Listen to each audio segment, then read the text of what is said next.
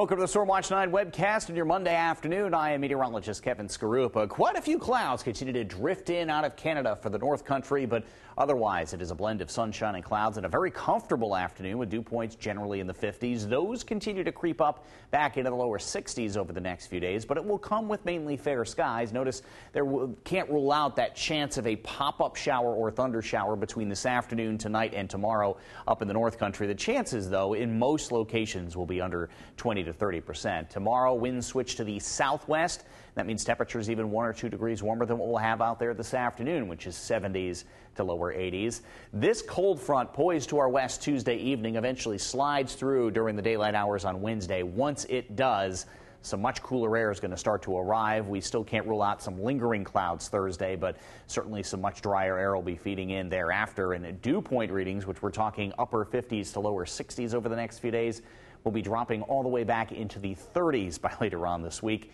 as some much cooler air comes along with it and temperatures running a good 10 to 15 degrees below the average by the end of the work week. So upper 70s to lower 80s out there this afternoon. Your extended forecast has that cold front making its way through Wednesday with a few passing showers and then much cooler air thereafter.